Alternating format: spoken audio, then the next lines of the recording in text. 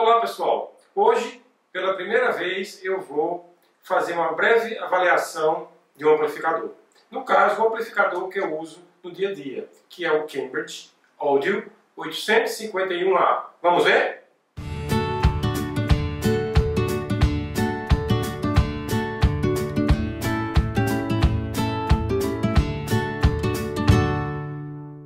Oi, como comentado, vou apresentar para vocês hoje o meu amplificador que eu uso no dia a dia, que é o Cambridge Audio 851A.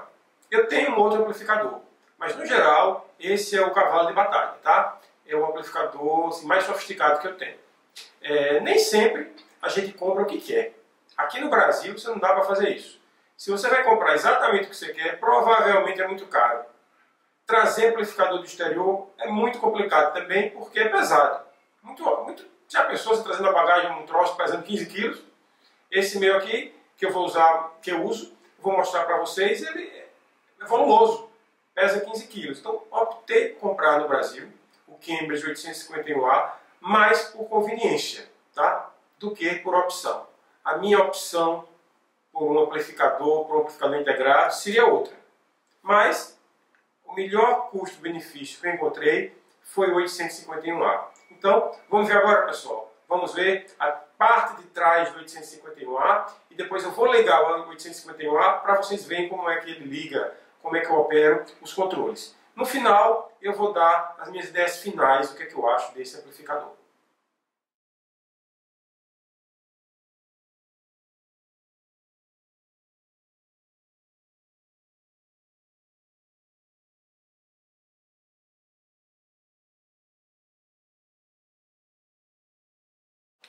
Pronto, pessoal.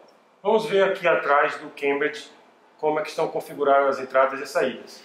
Nós temos aqui o, o switch de power, que ele liga e desliga o sistema, ou seja, na verdade deixa em standby. Se você deixar em on, o sistema fica em standby. Quando você apertar o botão na frente de power, ele vem à vida.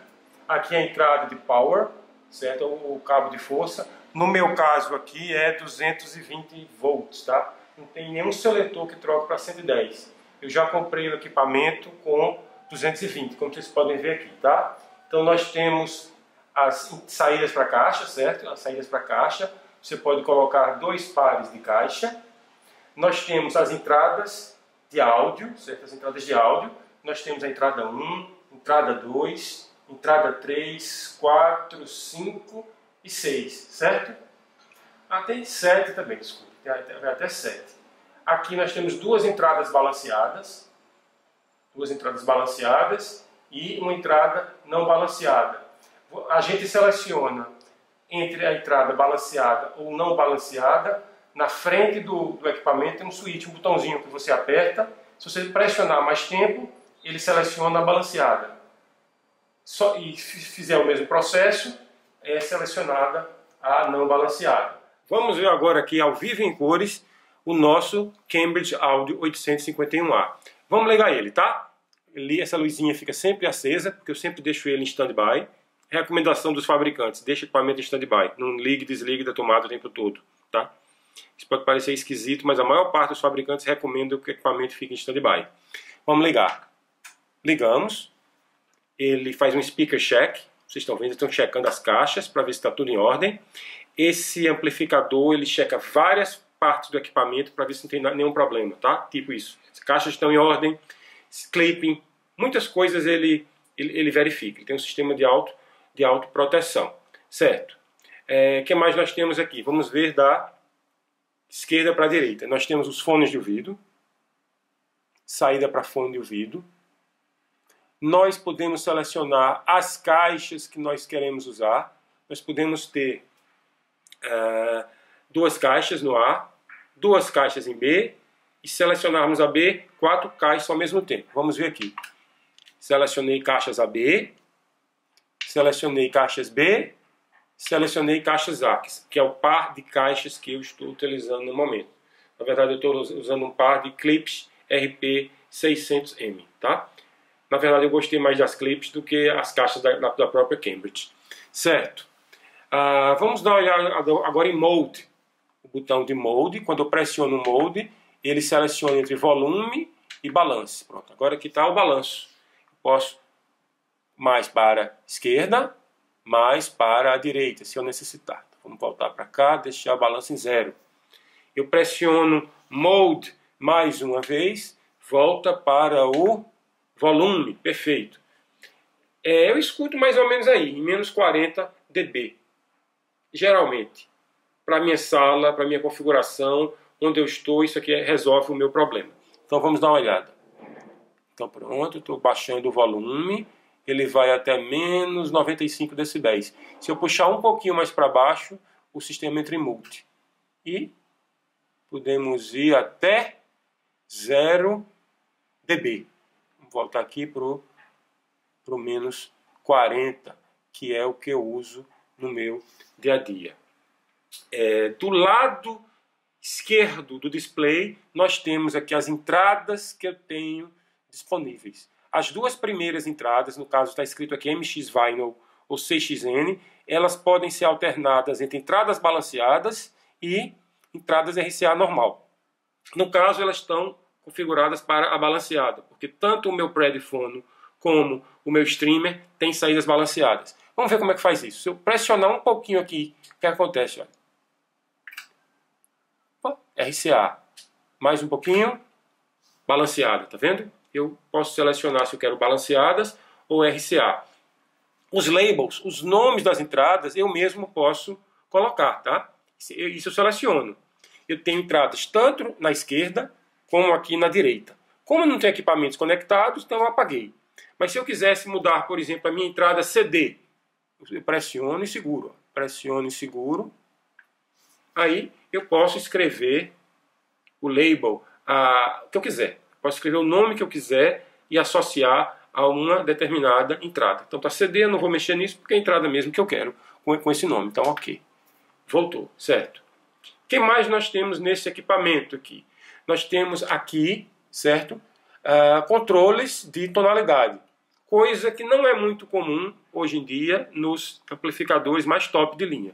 Então, se eu quiser utilizar os controles de tonalidade, então eu pressiono primeiro esse botãozinho aqui à direita, ó. Certo. Acendeu aqui em cima um indicadorzinho, uma clavezinha de sol e outro símbolo.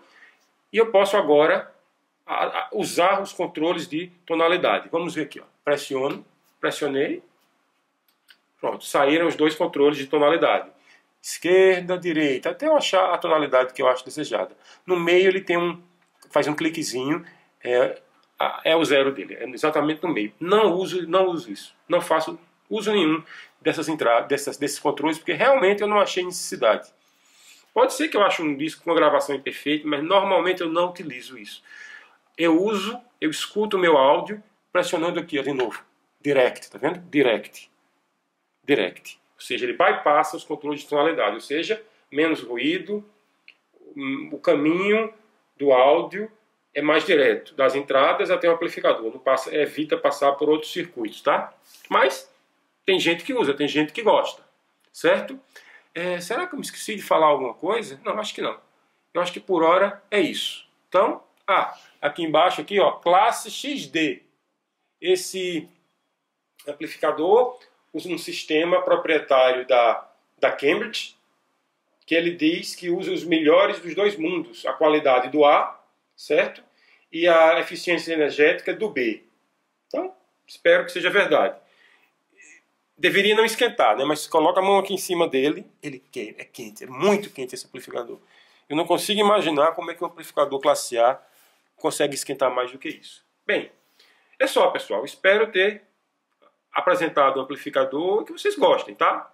Isso aqui é um vídeo amador, é só para compartilhar minhas impressões aqui no Brasil, que é muito difícil você encontrar material sobre áudio, certo? Para as pessoas que gostam de escutar. Então, vamos continuar, pessoal. Um abraço.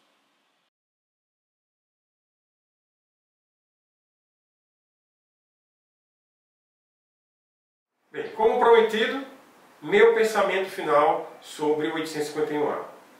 O Cambridge 851A é um amplificador transparente. O que você coloca na entrada você tem na saída amplificado. Eu não acho que ele traga coloração. Eu acho que ele é um amplificador como é que eu poderia dizer, clínico. Clínico. Ele mostra o que o som tem. Se o áudio que você submeter tiver falhas, você vai escutar a falha, certo? Ou seja, colocou na entrada, tem na saída amplificado. Gosto do amplificador. Esse amplificador é muito bem elogiado em um review do periódico Stereophile. Eu vou colocar no, na descrição do vídeo, certo?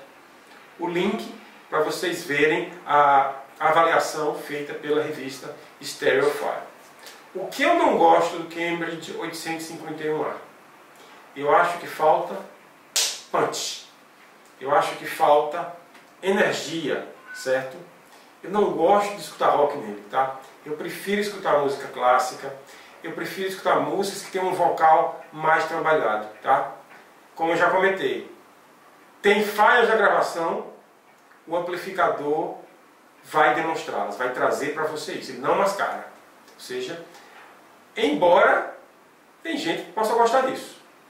Eu estou satisfeito com ele, mas quando eu quero escutar rock and roll, eu dou preferência a um outro amplificador que eu tenho, que depois eu vou comentar aqui com vocês, tá? Então, minha única queixa desse amplificador precisava de mais energia, precisava ser mais para frente para entender o meu gosto, tá? Ou seja, isso não é demérito, é apenas a minha visão, certo? Mais uma vez, esses comentários são amadores, certo? Antes de decidirem por uma compra, escutem. Não recomendo ninguém comprar nada, certo? Nem fazer nenhuma experiência. Beleza, pessoal? Espero que este vídeo contribua com vocês na sua busca por uma aula melhor. Tchau!